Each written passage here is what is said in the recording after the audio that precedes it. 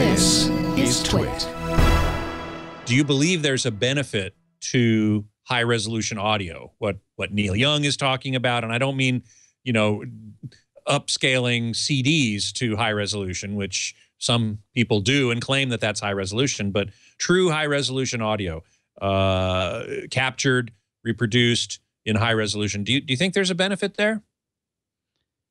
Yes, yeah, I would say so, and I think probably just that last example I gave, and you know what I've heard in the studio is if mm-hmm. the signals, if if the signal is not monkeyed with to any great extent, I would of course like to hear uh, more closely what they recorded at the actual event, and I've been convinced just what I've listened to in the studio in that environment that in fact higher resolutions give you more of the there there, if you will. Mm-hmm. Um, but but one thing to keep in mind is all that aside the quality of the mastering, in my mind, is going to make more of a difference probably overall than resolution. I mean, if we're if we're going to rank what makes a difference to the consumer mm-hmm. product, mm-hmm. the mastering, the quality of the mastering, I would say, is the number one thing that you know. Well, first of all, you've got to start with the, start with a good recording, of course. Right. But let's say you've got the good recording. The second thing I think that matters most is the mastering, and the third thing I think that matters is the resolution. I mean, to a point. MP3s, I've heard them slaughter some some decent recordings, but let's we're talking about CD or better. Correct. Uh, That's what we're talking so, about. So I, I would say the mastering is number one, the resolution number two, and then format PS PCM versus DSD probably number three, in terms of its uh, influence or impact on the sound of the final product. Mm-hmm. Charlie X in the chat room is wondering if well 192 kilohertz 24 bit is really necessary you know, it's is there a, is there a point beyond with beyond which it really doesn't make any difference?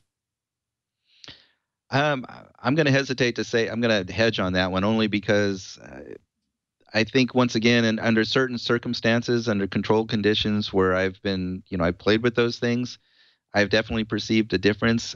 I've heard people tell me, "Oh, it's night and day." I, I haven't heard the night and day thing, but I have heard the the subtle difference um, under certain environments. I've got a lot of HD recordings that are both 2496 and 24192. Here's the tough thing is I don't know whether the 2496 was downsampled from the 24192, so that's what I'm hearing, you know, because mm. you clearly proved you proved in your test that those listeners in that room could perceive the difference between a downsampled upsampled file and an, and an untouched file.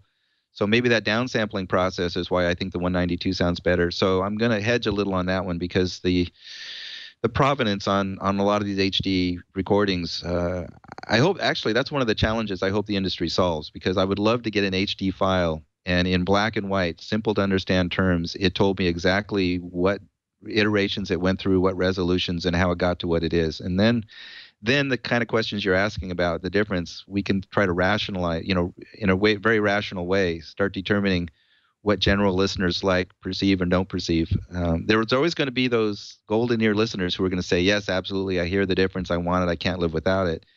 Um, you know, there's the bell curve, and so all those yeah. guys in the middle, they may be ambivalent. We may learn that they are ambivalent, and then the people at the bottom don't care if it's MP3 or not. So we, we get this bell curve.